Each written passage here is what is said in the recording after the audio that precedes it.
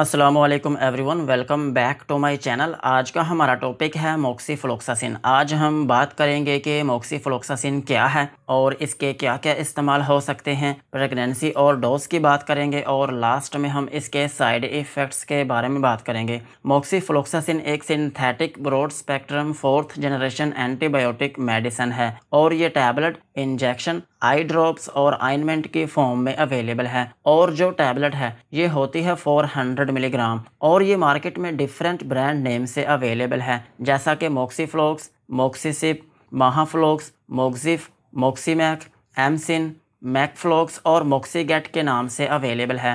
ये था मोक्सीफ्लोक्सासिन का इंट्रोडक्शन अब हम इसके यूजेस के बारे में बात करते हैं कि वो कौन सी ऐसी कंडीशंस हैं जिनमें आप मोक्सी फ्लोक्सासिन का यूज़ कर सकते हैं। मोक्सीफ्लोक्सासिन को आप कम्युनिटी एक्वायर्ड निमोनिया में यूज़ कर सकते हैं। निमोनिया ये एक ऐसी कंडीशन है जिसमें आपके फेफड़ों में जो एयर सैक्स होती हैं, जिनको हम बोलते हैं एल्व्यूलाई उनमें इन्फेक्शन हो जाती है, जिसकी वजह से वो डैमेज होने लगती हैं। और फिर इसकी वजह से उनमें जो एयर स्टोर करने की कैपेसिटी होती है, वो कम हो जाती है, जिसकी वजह से आपको खांसी और सांस की प्रॉब्लम होने लगती है। और इसकी एक अहम अलामत ये होती है कि आपकी चेस्ट में पेन होने लगती है और आपको सर्दी के साथ बुखार होने लगता है। इस कंडीशन में आप मोक्सीफ्लोक्सासिन का यूज़ कर सकते हैं और सेम इसी तरह मोक्सीफ्लोक्सासिन को आप मल्टी ड्रग रेजिस्टेंट निमोनिया में भी यूज़ कर सकते हैं। अगर आपने निमोनिया के लिए पहले बहुत ज़्यादा मेडिसिन खा ली हो और उस मेडिसिन की वजह से आपकी बॉडी में रेजिस्टेंस हो चुकी हो, वो मेडिसिन आपकी बॉडी में काम ना कर रही हो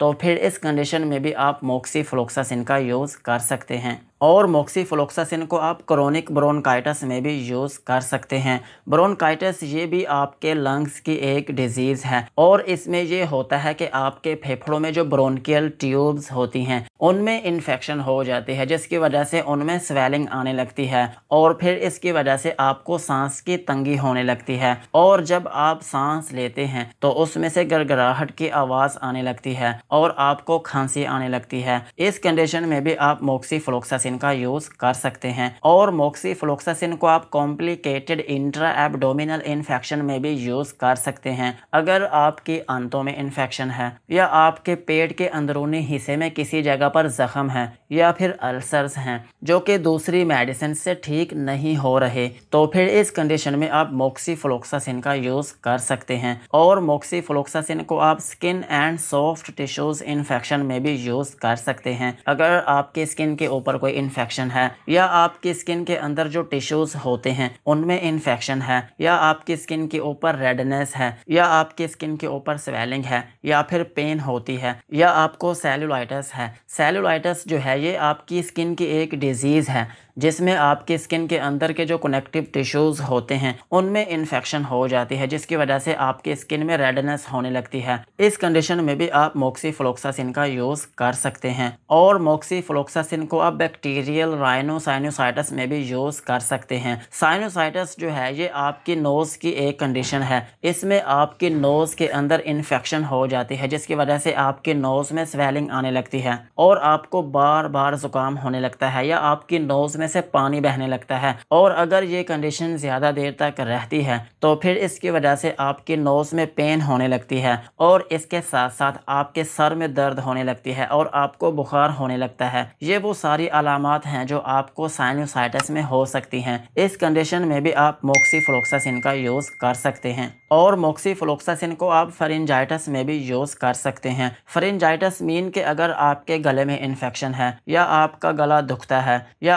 आपके गले में स्वेलिंग है या आपके गले में रेडनेस है, आपसे खाना ठीक से नहीं खाया जाता या फिर पानी भी ठीक से नहीं पिया जाता तो फिर इस कंडीशन में भी आप मोक्सीफ्लोक्सासिन का यूज़ कर सकते हैं। और सेम इसी तरह, आप इसको टोनसिलाइटस में भी यूज़ कर सकते हैं। टोनसिलाइटस मीन के अगर आपके गले में जो टोनसिल्स हैं, उनमें इन्फेक्शन है या उनमें स्वेलिंग है, या उनमें रेडनेस है तो फिर इस कंडीशन में भी आप मोक्सीफ्लोक्सासिन का यूज़ कर सकते हैं। और मोक्सीफ्लोक्सासिन को आप बैक्टीरियल कंजक्टिवाइटस में भी यूज़ कर सकते हैं। कंजक्टिवाइटस ये एक ऐसी कंडीशन है जिसमें आपकी आँखों में एक मेम्ब्रेन होती है, जिसका नाम है कंजक्टाइवा उसमें इन्फेक्शन हो जाती है, जिसकी वजह से आपकी आँखों में रेडनेस होने लगती है और आपकी आँखों में पानी बहने लगता है। और अगर ये इन्फेक्शन आपकी आँखों में ज़्यादा देर तक रहती है तो फिर इसकी वजह वजह से आपकी आँखों में पस जमा होने लगती है। इस कंडीशन में भी आप मोक्सी मोक्सीफ्लोक्सासिन का यूज़ कर सकते हैं और मोक्सीफ्लोक्सासिन को आप ओटाइटस मीडिया में भी यूज़ कर सकते हैं। अगर आपके कान में इन्फेक्शन है,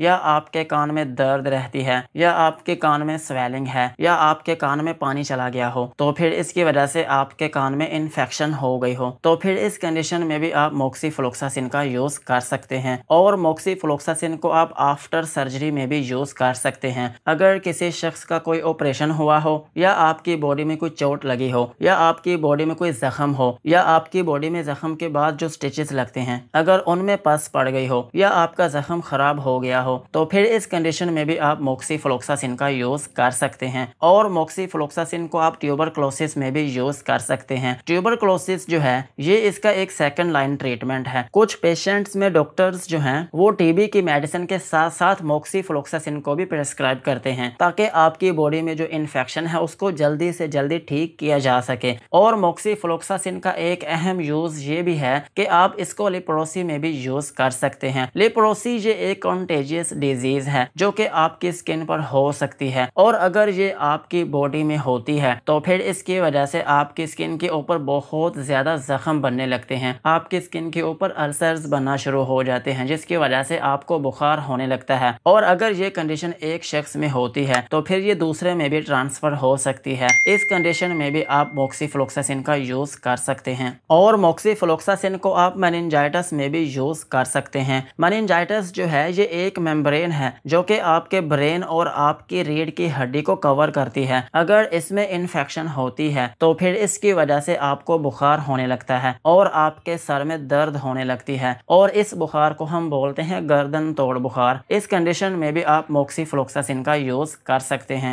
यही थे मोक्सीफ्लोक्सासिन के यूजेस अब हम इसकी डोज के बारे में बात करते हैं। अगर आपकी एज 18 साल से ज़्यादा है तो फिर आप मोक्सीफ्लोक्सासिन की 400 मिलीग्राम वाली एक टैबलेट दिन में एक मरतबा यूज़ कर सकते हैं। और अगर हम बात करें प्रेगनेंसी की तो प्रेगनेंसी में ये कैटेगरी सी में फॉल करती है, जिसका मतलब ये है कि ये मेडिसिन प्रेगनेंसी में सेफ़ नहीं है। अब हम इसके साइड इफेक्ट्स के बारे में बात करते हैं कि अगर आप इस मेडिसिन का यूज़ करते हैं तो आपको क्या क्या नुकसान हो सकते हैं। मोक्सीफ्लोक्सासिन को यूज़ करने से आपको हाइपर सेंसिटिविटी रिएक्शन हो सकता है। यानी कि आपकी स्किन के ऊपर एलर्जी या फिर रैशेज बनना शुरू हो सकते हैं और आपको नोजिया या फिर वॉमिटिंग हो सकती है। यानी कि आपको उल्टी या फिर मतली आना शुरू हो सकती है। और अगर आप इसकी ओवरडोज लेते हैं तो फिर आपको डायरिया भी हो सकता है। आपको लूज मोशन आना शुरू हो सकते हैं और आपके पेट में दर्द हो सकती है। और ऐसे मरीज़ जिनको जिगर का मसला हो या फिर गुर्दों का मसला हो या फिर हार्ट पेशेंट जो हैं, वो इस मेडिसिन को यूज़ ना करें। यही थे मोक्सीफ्लोक्सासिन के uses doses and side effects आज की वीडियो को यहीं पर ख़त्म करते हैं। वीडियो अच्छी लगी हो तो चैनल को सब्सक्राइब करें एंड बेल आइकन को प्रेस करें।